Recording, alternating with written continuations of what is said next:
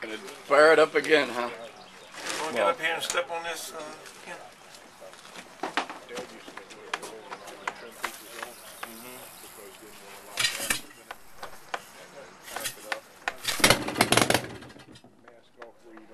Get it, Miro? Got it.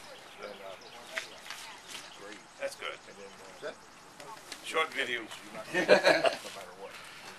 I gotta get right in here. See the uh, advanced electronics that run this thing. Yeah, spin that thing over. Timer. There you go. Yeah. Yeah, it's a dynamic kind of approach to, to timing. It kind of is what it needs to be when it needs to be. And I got it. it was, uh, now, uh, Mr. Price, could you get your carburetor in there Oh, to sure. see what how it was was done? That was that was the extent of the carburation. That was The key to the success, however, is that 5 16 bolt. That's what really makes it work. yeah. What what grade? That's what grade three. It's grade 3. But it's U.S. made. U.S. Oh, okay. Just like the guys running it.